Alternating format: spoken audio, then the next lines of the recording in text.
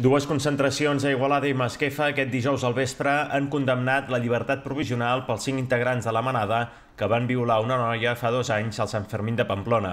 A Igualada la concentració s'ha fet davant els jutjats amb el lema Prou injustícia patriarcal i a Masquefa ha sigut a la plaça de l'Ajuntament. Recordem que els cinc violadors de la manada van ser condemnats a 9 anys de presó acusats d'abús sexual en lloc de violació.